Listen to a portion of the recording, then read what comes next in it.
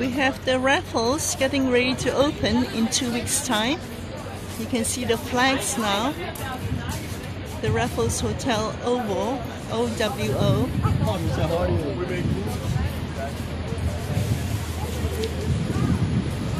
What does OWO stand for? Sorry? Raffles Hotel OWO. I think it's something to do with the overseas something.